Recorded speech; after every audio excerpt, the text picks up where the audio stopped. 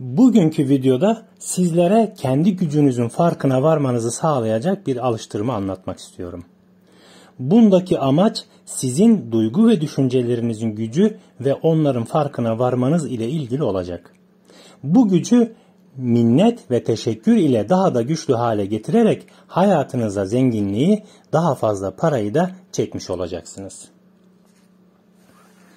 Önce bir teşekkürle başlamak istiyorum. Katıla abone olarak bizlere destek veren Burcu Yaman isimli izleyicimize buradan minnettarlığımı sunuyor ve sonsuz teşekkürler ediyorum. İyi ki varsınız. İnsanoğlunun enerjisi gerçekten harika bir şey. Enerji var olan bir güçtür ve her şey bir enerjidir. Enerji yani güç insanın duygu ve düşünceleri ile açığa çıkar. Enerjinin ayrıca yaptırım gücü de vardır. Elinde savaş aleti olan bir insan önünüzü kesip cüzdanınızı istese tereddüt etmeden verirsiniz. Çünkü o insan başka bir enerjiyi silah olarak kullanarak size yaptırım uygular. Ormanda gezerken karşınıza bir ayı çıksa korkudan ne yapacağınızı bilemezsiniz. Ayının gücü, cüssesi, pençeleri gibi avantajının olduğunu bilir ve korkarsınız. Sizde korku enerjisi açığa çıkar. Ama aynı ayıyı hayvanat bahçesinde görseniz hiçbir korku açığa çıkmaz. Size verecek, size zarar verecek potansiyele sahip olsa bile arada bulunan barikatlar sizde güven ve rahatlık duygusunu açığa çıkartır. Duran bir taşın enerjisi yok denecek kadar azdır. Ama dağdan yuvarlanan taşlar ya da size atılan bir taş sizde farklı enerji açığa çıkartır. Kısaca sizin o nesnelere yüklediğiniz enerji sizde de büyük ölçüde aynı enerjiyi açığa çıkartıyor. Yoldan geçen bir insana hakaret etseniz, rencide edici konuşsanız sizi dövmek için üzerinize yürür. Halbuki siz ona temas etmediniz, elinizle dokanmadınız. Sadece bir sözün etkisi burada açığa çıkıyor. Olaylara bakış açınız sizin o olaya yüklediğiniz enerjiden ibarettir. Zenginlik enerjisini hissedememenizin en büyük sebebi fakir olduğunuza inandığınız içindir. Kıtlık, ihtiyaçlık, fakirlik durumuna yüklemiş olduğunuz enerji daha fazla olduğu için zenginliği hissedemiyor ve yaşayamıyorsunuz. Fakirlik duygusundan çıkmanın en kolay yolu ise minnet ve teşekkürdür. Gün içerisinde hayatınızda olan her şey için minnet duyarak teşekkür etmelisiniz. Bu bilinçaltına zenginliği işlemenin en etkili yollarından bir tanesidir. Burada Lee Brower'ın bulduğu ve halen dünyada birçok insanın kullandığı ve başarılı sonuçlar alınan bir yöntemden bahsetmek istiyorum. Küçük, pürüzü olmayan kaygan bir taş parçası bulun.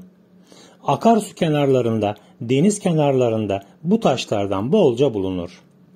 Avucunuzun içine sığacak ve parmaklarınızla oynayabileceğiniz büyüklükte bir taş olsun.''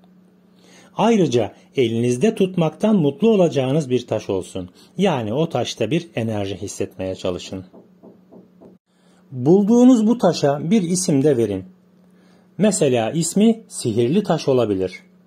Taşı ilk bulduğunuzda onu yıkayıp kurulayın. Gece uyumak için yatağınıza gittiğinizde taşı avucunuzun içine alın. Diğer elinizle de avucunuzu kapatın. Avucunuzun içindeki taşa iki avucunuzun içinin de temas etmesini sağlayın. Ve o gün akşama kadar olan tüm iyi şeyleri düşünün. Ve aralarından en iyi olanını seçin. En çok minnet duyacağınız bir olayı seçin. Sonra o şey için üç kere teşekkür ederim, teşekkür ederim, teşekkür ederim deyin. Daha sonra sihirli taşınızı yatağınızın başucuna bir yere koyun. Sabah uyandığınızda onu görebileceğiniz bir yer olsun. Sabah uyandığınızda taşı avucunuza alın ve ilk aklınıza gelen iyi bir şey için teşekkür edin. İşte bu kadar basit. 28 gün boyunca akşam ve sabah bu anlattıklarımı yapın. Çok kolay ve basit gibi görünen bu olay aslında çok etkili bir yöntemdir. Her akşam uyumadan önce minnet duyacağınız, teşekkür edeceğiniz iyi olayları düşünerek daha sonraki günler için hayatınıza da daha iyi olayları çekmiş olacaksınız. Gün içinde iyi olayları ararken düşünce ve duygularınız pozitif enerji açığa çıkartacak ve daha iyi olayları kendinize çekmiş olacaksınız. Bunları isteyerek ve zevkle yaptığınızda hayatınız çok kısa zamanda inanılmaz ölçüde de değişecektir. Sihirli taşınızı çantanıza veya cebinize koyabilirsiniz veya müsait durumlarda elinize alabilir ve teşekkür edecek bir şeyler düşünüp bulup söyleyebilirsiniz. Unutmayın cebinizdeki herhangi bir değerdeki para size verilmiş bir nimettir.